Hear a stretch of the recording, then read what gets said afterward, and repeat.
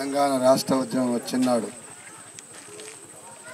మంగళపల్లి నుంచి నరసింహాపురం నుంచి బోనాలు ఎత్తుకొని బోనాలల్లా గుడ్డల రాళ్ళు చుట్టి సీమాంధ్ర పాలకులు మీరు ముప్పు తుప్పలు పెట్టకపోతే తెలంగాణ ఎప్పటికి రాకపోతుంది.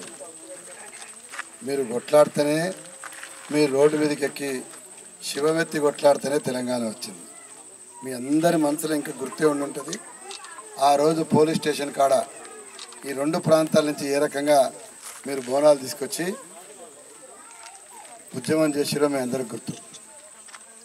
అట్లాంటి నరసింహాపురానికి మళ్ళీ నన్ను పిలుచుకొచ్చినటువంటి కందికంటి శ్రీనివాస్కు మహేశయ్య గారికి సైదులకు వారందరూ కూడా తెలంగాణ ఉద్యమం తెలంగాణ ఇంటి పాటు తెలియజేస్తాము